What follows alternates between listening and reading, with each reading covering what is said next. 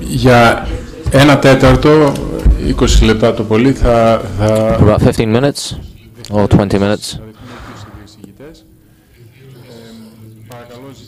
Our two speakers will take questions. Please raise your hand. There are microphones. Say your name, who you're addressing.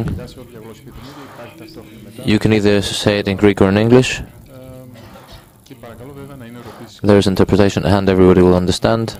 And please make, make sure they're questions, not statements. I don't want to put you in the process of uh, listening to me in translation. So, Elena Panariti, you're going to listen to me afterwards, in Greek though. But right now, um, congratulations indeed. It's, it's very difficult to do that in a foreign country because it's also very difficult to identify if you have actually five private detectives running after you. Um, I've been in your case, but only when I was working with the World Bank trying to do um, reforms in Latin America, so you can imagine. Five, five that we noticed, yeah. Five, you only noticed five. I'm sure there were several snipers out there you didn't even see. Um, but I want to make a question to uh, my friend Dennis Martinez. Um, is your uh, last uh, slide had five actions, and you, if I understood correctly, one has actually been taken care of, and the other ones are still. I just wanted to have a clarification. The other ones are still suggestions, or they're done. The the reform unit has it been done or not? Uh, no. Um, so what has been done or is, uh, you know, the amount is not uh, the 3 billion, uh, but uh, it's, it's starting to move uh, and was announced very recently is the first one. The, this liquidity relief uh, effort for aimed specifically to um, compensate for the lack of banking uh, funding to the small businesses uh, at this stage. It does require actual cooperation of the banks, but it makes it a lot easier for them. The unit has not been done, the talent placement has not been done. The bank recapitalization is advanced, uh, unless we hear again that it's set back. So I don't change my whole presentation. I would say about half of what I showed uh, is actually in different stages of progress. The other half is not, hasn't really started uh, yet, or no, is not in a real uh, stage.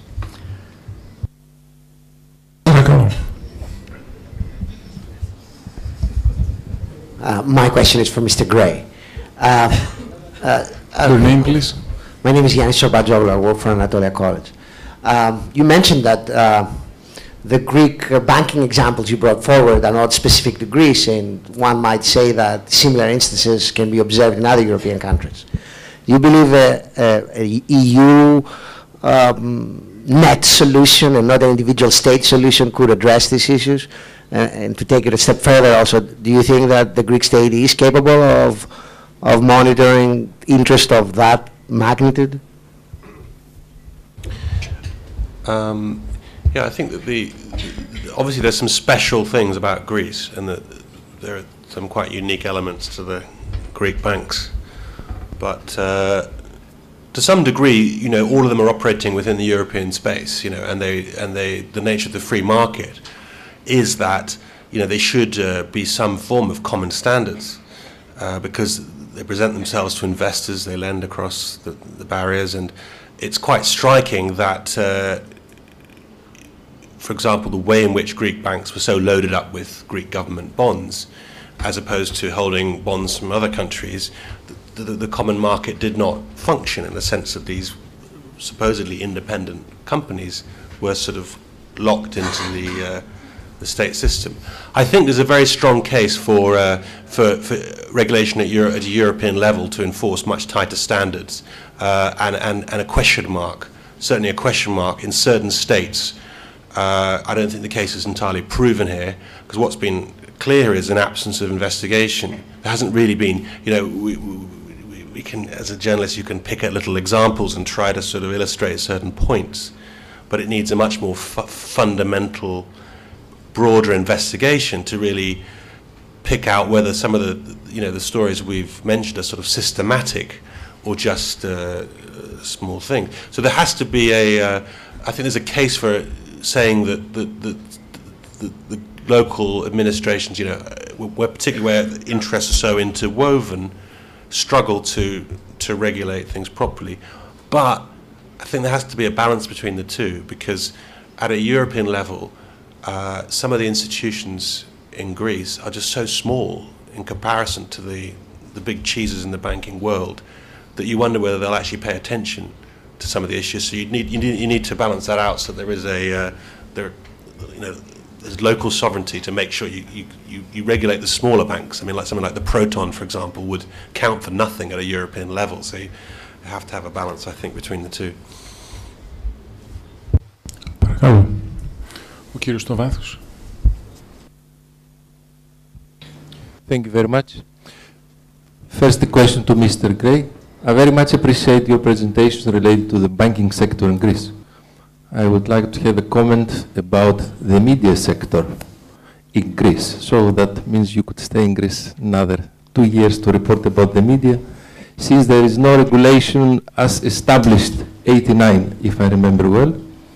Second question to Mr. Martinez also appreciate very much and McKinsey work for the Greek government. I think it's too optimistic your what you said and I like very much the proposal to young talent if has been registered existing public servants with finishing public administration school in Greece, masters, where they are sitting. You should sit, find them and work for the Greek government. And secondly, as agriculture and challenging problem, products, recently just published the European Union site, 10 to 10, that means 10 products geographically indicated by the European Union countries and 10 for China. It was prosciutto from Italy, two olive oils for Spain, France cheese, unfortunately, no product from Greece. This just last week published. Υπάρχει ερώτηση. Έχετε, do you have a question? This is the question. How to do this with whom in Greece?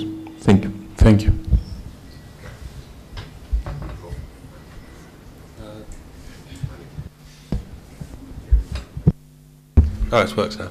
Uh, thank you for the question. I'm sorry, I'm going to be very boring on, on that question because I'm actually, uh, well, two things. First of all, all the Greek media are our clients. We supply them with all these stories that we write in the hope that they will print them.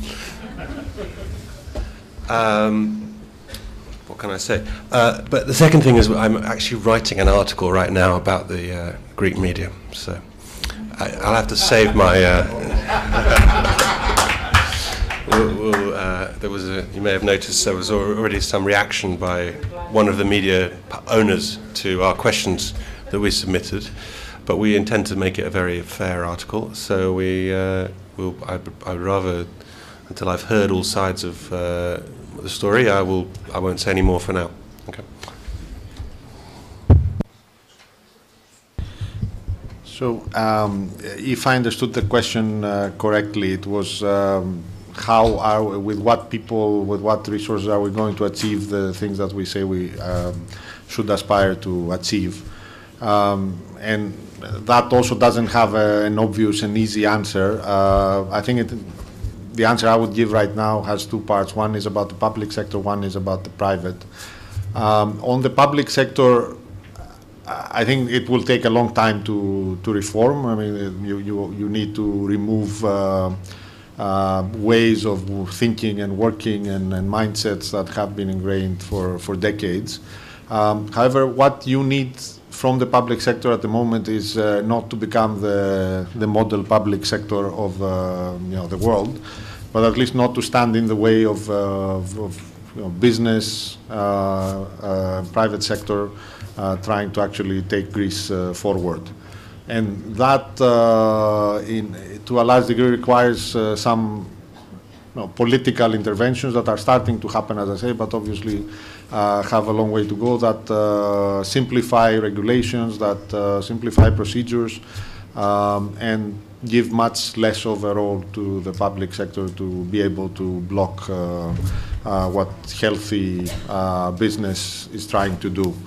On the private sector side, I, I think we have very impressive talent in Greece. Uh, I do believe that. Uh, I, I, come in contact with it uh, every day. I think it's, it's proven uh, wherever it has a chance to, to show. Uh, we need to change also in Greece uh, mindsets from one of you know, easy money, easy consumption, just nice living, to one that is more of a hard work brings results and, and rewards.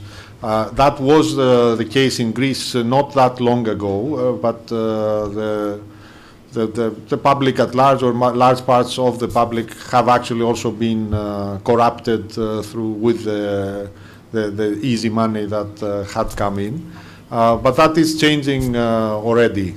Um, I have an interesting example um, that um, um, was described to me by a senior bank uh, executive uh, some months ago, uh, on the same day, came for auction uh, two different properties. One was the house of a famous fashion designer in Mykonos, uh, very flamboyant, very uh, you know the kind that uh, you know you would see in the gossip magazines and talk about and be impressed. Um, and then there was 800 stremata of agricultural land, olive uh, in uh, near Sparti. Uh, in the past, he said, you would have a lot of competition for the house of the fashion designer in Mykonos and no interest for the agricultural land.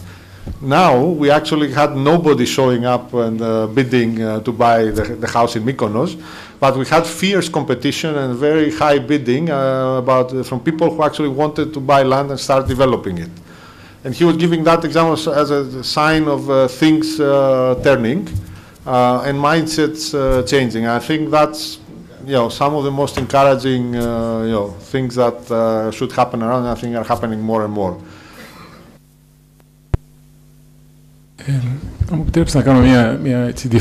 Allow me to ask something for clarification about talents in Greece.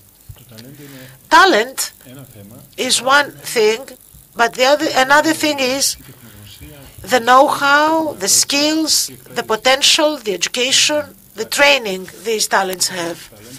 So there is talent and there's the other side as well. Can you make a comment, please?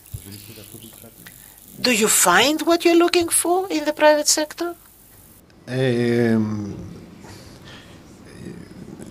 what I would say is that um, in Greece we actually have some um, extraordinarily um, strong schools, and Anatolia is one of them. There's uh, schools in Athens that are, are of very high caliber. Um, definitely at the secondary level and more and more also at the uh, uh, university uh, level. Um, what uh, we are lacking, I would say, is a strong education that covers the large population. That the public part of the education is uh, uh, has not uh, caught up, uh, um, and then the, the also the public university education. It is uh, producing people that learn to, to work hard, those that excel, and then can follow on and and uh, pursue more advanced degrees internationally, and have uh, you know be people that that can be successful at an international level. Um, I think what we're still uh, lacking is uh, a more uh, mass production of graduates that can actually be immediately productive in the in the workforce.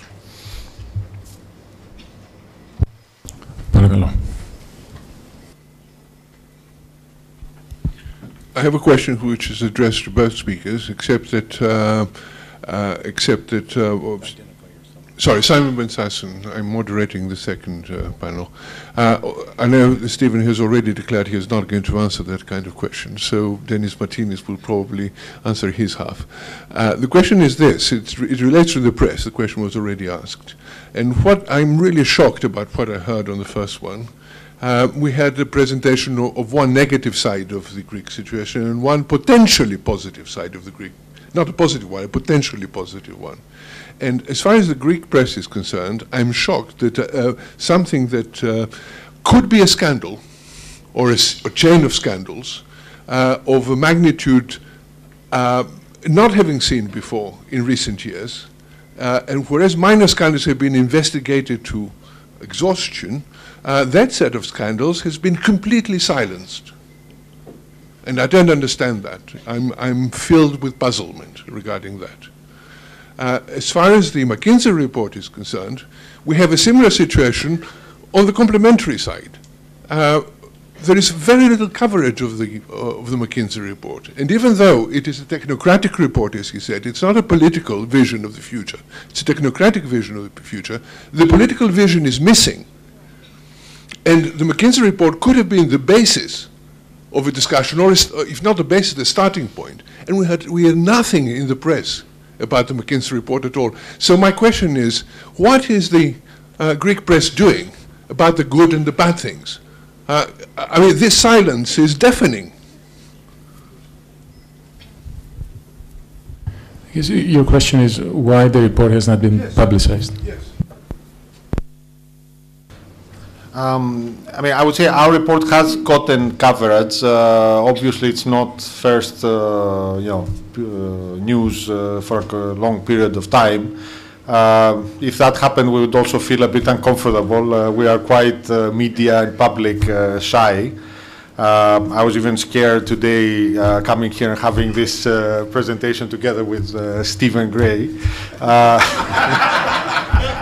Thank you. um, so I think that there has been some coverage. I don't think it's a matter of the press. I think I would take more the question around what are the governments doing again, I have to say we have worked this through three, four different governments. Um, they have all uh, embraced uh, their finding. Also, the Troika has been uh, uh a party uh, in this process of developing and developing the recommendations. Um, I think uh, we just did not have the right chance, not us, the, the government and the Troika, to elevate this. But I, I, sense that this time may be coming because now is the time to talk about growth. So far, it has been about just putting a bit of our house in order, escaping the you know different uh, political uh, you know episodes that that emerge from time to time. Um, I think that, or I want to believe that now the time is coming, and I don't care if our report gets prominence, but it's it's this agenda that uh, has to come to the fore, and I, I, I would hope that it, this will happen soon.